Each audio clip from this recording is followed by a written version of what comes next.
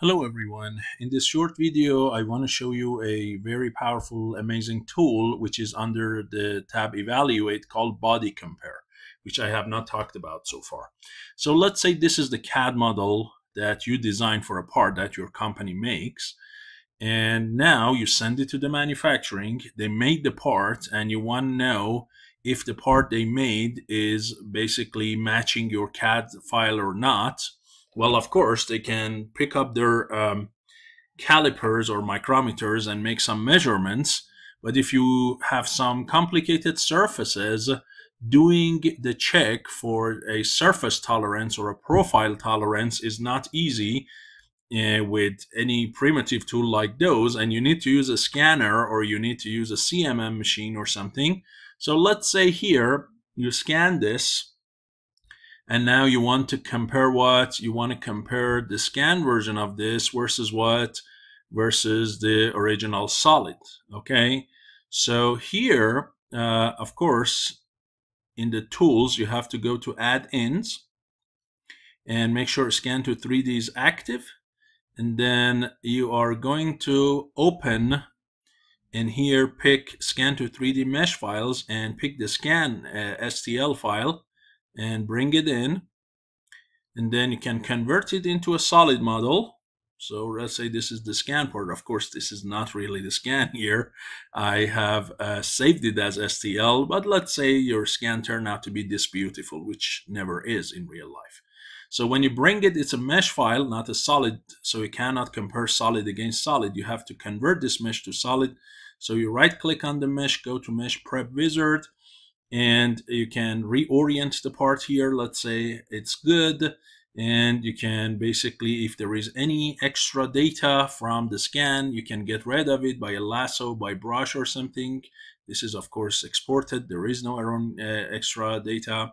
You can do global simplification if you want to reduce the number of um, basically vertices or triangles. You can do that. You can do it locally and then you can do uh, smoothness right globally locally. And then you can launch once your mesh file is good you can launch the surface wizard. And here I do automatic creation and go forward and then pick how many small patches of surfaces you want. And now you okay that so it can create the surfaces and then from them it can create a solid object. And if you see, there are some areas that will be not perfect because your scan is not going to be as perfect.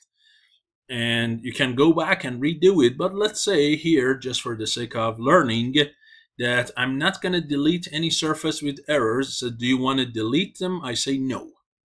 And I let it create the solid with some uh, errors. So if you see here clearly the solid is not going to be as beautiful and as clean as what the original part, right? If I get rid of these lines, you clearly can see the deformation. So let's say this is what I get out of uh, my manufacturing.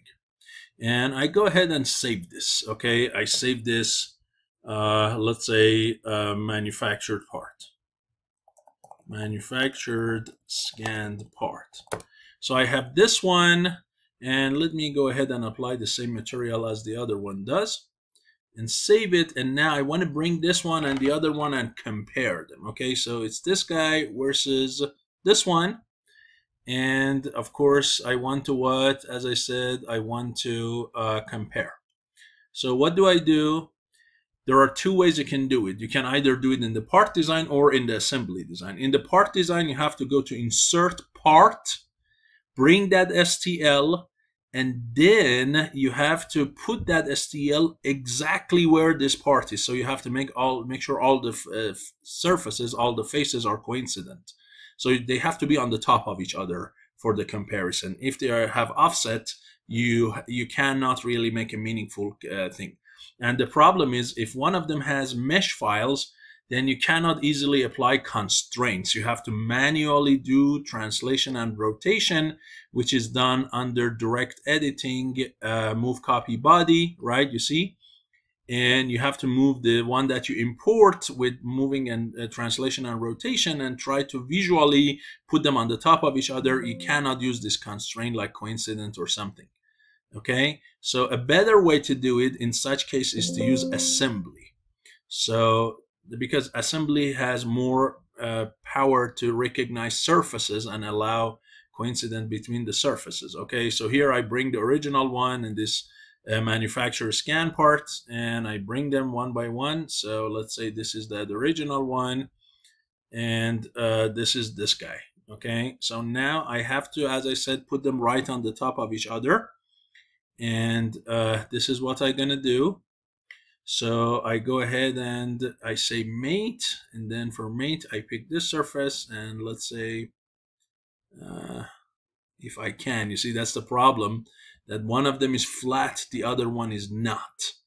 Okay, and that is typically your problem. So let me pick an edge if I can, like that. Hopefully that is good enough. Seems like it is. Then we add, let's say, another surface of this one, and the bottom is flat, so I should be able to make them flush. There we go. So the only thing we need to do is uh, one of the left or right surfaces. Okay, so let's see. I can move this something like that. And again, one, one clean surface. If I can do that, that is going to be amazing. Let's see. There we go. Okay, so now they are exactly on the top of each other, of course, except for discrepancies, which you can visually see. So now I go to uh, evaluate and use this guy body compare. And for the source body, I can pick the CAD model. Let's see. Yes, original part. And here I need to pick up the other one. And you might say, how would you pick the other one when they are on the top of each other? This is where you select other. So you come here, you right click and say select other. And here you can use that imported part as the compare body. Okay, something like this. And then you can pick basically uh, the range of the legend. So here plus, uh, 11 inches between them and negative 0.11 inches between them are going to go anywhere from red to blue. And you can what? You can uh, change this, right? And pick some meaningful range, something like that. And here your accuracy is not really enough. So you need to use a third um, uh, digit. But if you do so and go here, you can clearly see that in the blue areas, one object is bigger than the other. And in the red areas, if there is any, the um, second object is bigger. Okay, so the difference is negative. So it is going to show all the differences. And of course, here you have a bunch of differences in this case. Okay, and uh, let me show you just another object for comparison. So here, I'm going to get rid of this and I bring another version of the object which has some features difference. This time it's not coming from scan, it is coming from some uh, modifications in the part okay? So let's go ahead and do that part. And I called it modified part. This one is a CAD model where these radii are smaller and then the bottom here has fillet. Here it doesn't. It's sharp. So I just want to compare these two as well for you for the sake of learning. And then we are uh, going to finish this uh, video. So here we go. And let's fix this guy so it doesn't move. And finally make these perfectly on the top of each other. It's a good time for comparison and body compare. Uh, Seems like the command is already active. So let me turn it off, turn it on again. So this one is going to be the original one. Then you come here, right click and select the other and you pick the modified one.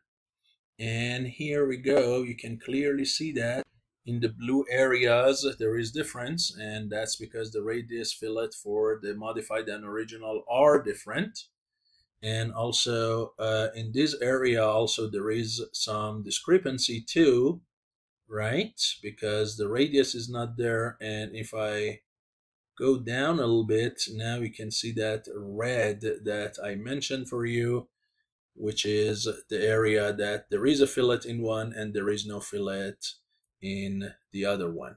So this is really good for comparison knowing where the parts are different and going and modifying them so hopefully this video was useful to you and I'll see you in the next lecture. Thank you.